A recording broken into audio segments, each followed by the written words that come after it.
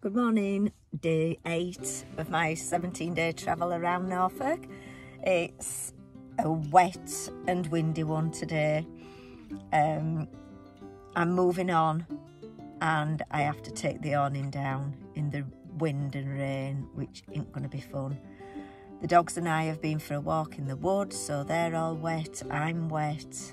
Um, yeah, I'm all steamed up. It smells of damp Uh, I've just had my breakfast and a cuppa. Gonna go for a shower and then going to take the awning down. I'm dreading that. So this isn't fun. But I'm not letting it stop me. So I'll see you wherever I end up next. Bye for now. Well, what a morning. I thought I'd share, um, as well as the highs, the lows. I went into a shower, the shower block, stripped off, realised I hadn't got my towel, um, but I'd got a flannel. So I thought, right, don't use the flannel in the shower. And so I got dry with a flannel. So that's a lesson learned.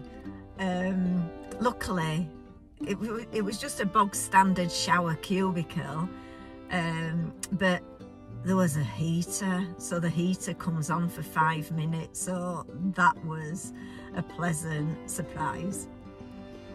So, but I'm all fresh now and raring to go, maybe going to Sheringham, um, yeah, that way.